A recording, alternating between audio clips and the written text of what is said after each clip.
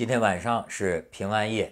当然熟朋友知道我对什么节日什么的都是无所谓的，但是碰上了呢，也就祝大家这个今天晚上玩的开心吧。啊，这个玩啊，呃，每人路数不同啊，小鸡儿不撒尿各有各的道儿。比如说有些人他玩的是人，玩的是性，玩的是人的身体，所以你看这个很有意思啊。就是人玩人啊，那么我想说的是什么呀？我今天呢，呃，刚看完一篇就是澎湃新闻发的一个记者调查，看了之后啊，有一些感触。这个你看，最早啊，咱们听见，比如说某个明星说嫖娼，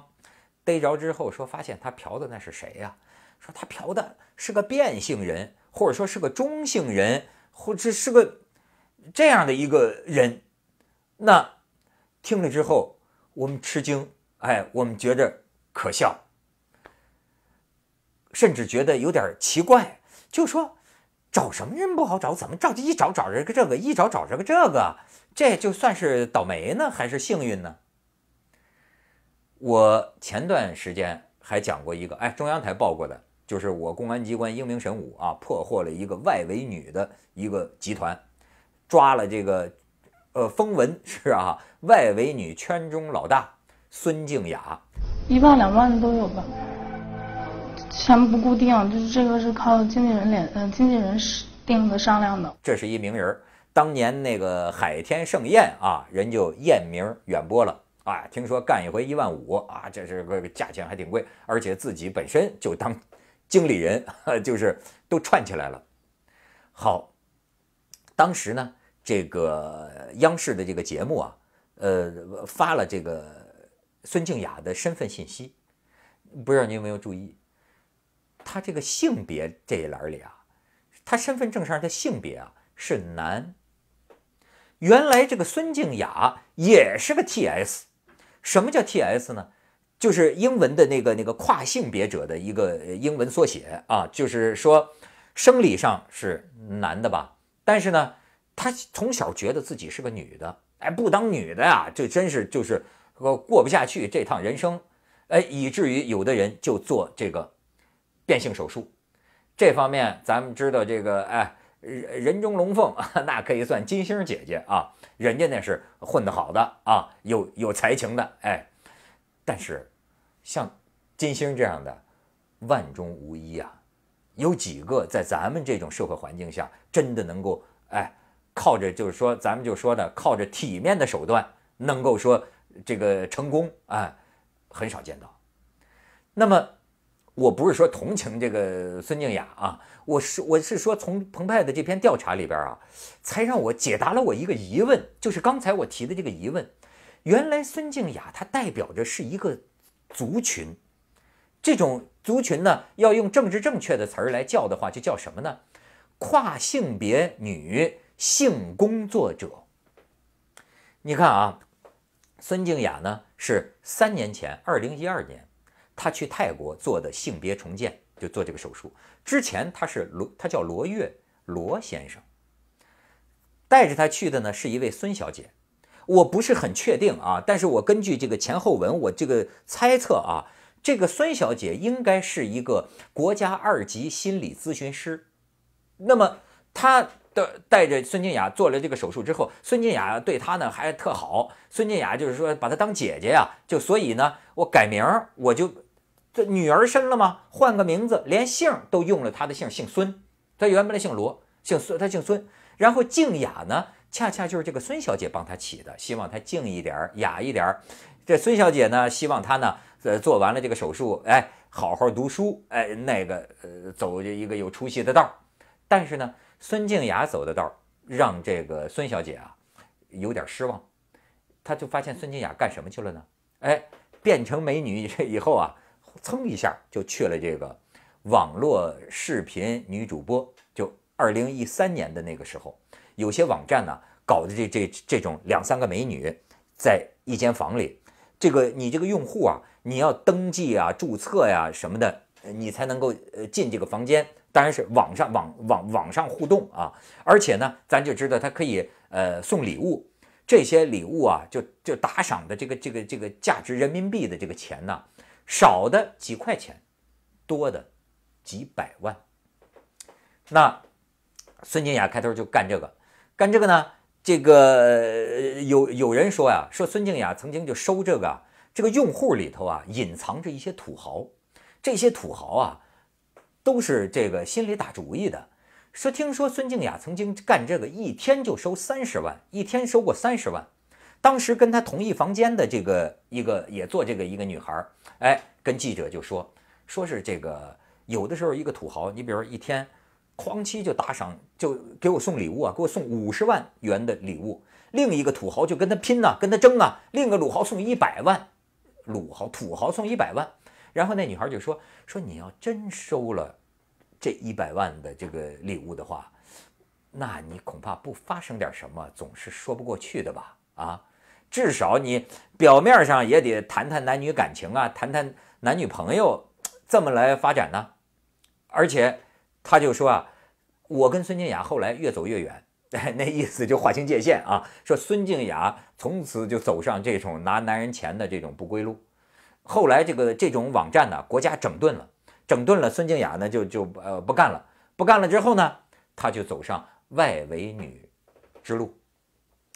然后你看，咱们平常就是说，呃，有一些人，他就瞧不上这个呃卖淫女的理由，就是说，哎，因为家里穷啊，哎，因为什么什么这个父母生病了，哎，我就去卖淫。有的人呢就。站在这个道德高地，有的人就谴责，就是说，哎，你这个那不对啊，你这穷难道就是你啊堕落的这个理由吗？哎，这是有些人，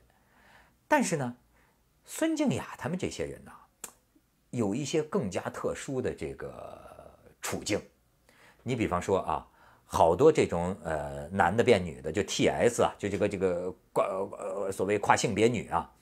你看她往往啊都是。很小的年纪啊，十几岁就离家出走了，跟家里闹的是众叛亲离。你家父母亲就说：“你怎么要当女的？”这边，当然我在这儿说一下啊，这 T S 啊，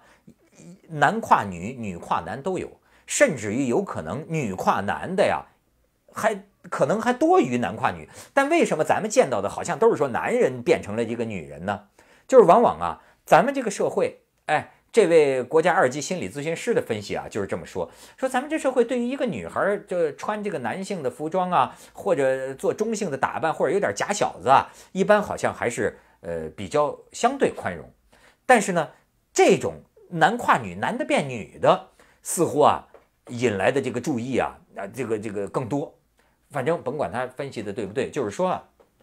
很多这个呃这种呃 T S 啊，他跟他家里人已经闹翻了。而且呢，他们啊就表现出啊对钱特别大的渴望，因为呢，你看啊，他要是做了变性手术之后啊，有一个女孩就讲了，我也不知道叫男孩还是女孩，她说：“你看我这个身份证上还是男，那我要改呢就要到医院做体检，但是有些医院不给你做这种体检，那么要改呢也得回到原那个户籍地啊去改，但是有些小地方的这个办事机构啊。”根本就排斥你这种人，所以呢，他们也懒得，根本也就不去改。那你这样的一个人去找工作，照他们很多人的说法，就是这个正经工作不会接纳我们这样的人，而他们又特别渴望钱，他们花的钱呢，可能比比比一般女孩都多，因为啊，他们生怕给人家认出来像是那个男的，所以啊，就更加刻意的美容整容，一般都要整就整啊。整的好看一点，穿这个女人的这个衣服，所以说啊，这个化妆费啊，这个美容费啊，整容费啊，服装费啊，就她的这个生活用度啊，这方面甚至还超过一般女孩。好，这是一个，所以说是像这个这个孙静雅就曾经说过这样的话，就说我们这样的人，哎，在做手术以以前啊，拼命的挣钱，甚至不惜卖淫，是为了什么呢？为了凑够钱做手术。那做手术之后为什么还卖呢？那做手术之后，那就是为了挣钱了。发现这玩意儿真是能挣快钱，而我们这种人，你让我们别的，你让我们干什么？因为往往从小离家出走，很多人他失学，没有没有文化，没有文凭，没有任何的这个技能，而且还是这么一个通常这个咱们这社会这种歧视性的称呼，就是什么二椅子啊，或者这这这这这这种，那他根本就很难在这个所谓的正常社会里啊立足，或者说是这个敢于让人们知道他是怎么回事儿。你像这个，我听到一个比例很吃惊啊，有人有这个调查，就是说，呃，这种啊变了性的，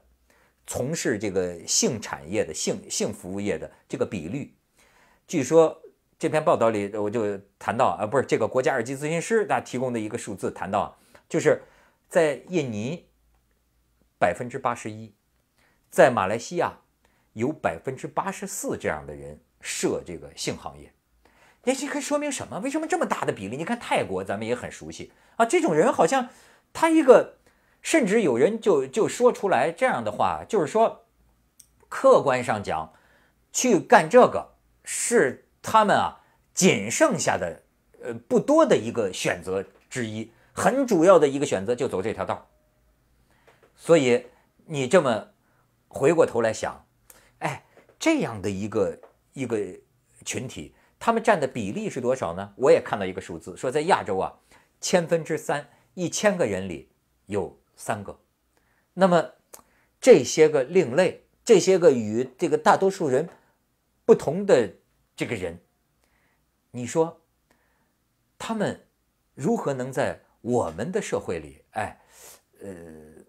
能够正常的生活下去？因为所谓的正常，用我们理解的正常这个定义的话。那他们就是不正常。当然，今天咱们所谓文明社会啊，政治正确的这个来讲，那对这样一些人，应该理解，应该关注，应该帮助，起码不能歧视。可是，咱们嘴上都说的不要歧视，不要歧视，不要歧视。可是，这些人，他们每天每日，他们的这个工作生活，哎。咱们又如何能够想象呢？因此，我看了这篇报道之后啊，我的这个体会是：哎，谁都不易啊，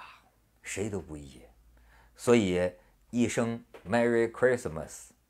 给每一个男人和女人，或者嗯是男人但是以为自己是女人，是女人但是以为自己是男人啊。所有所有的每一个人，我都向你们说 Merry Christmas。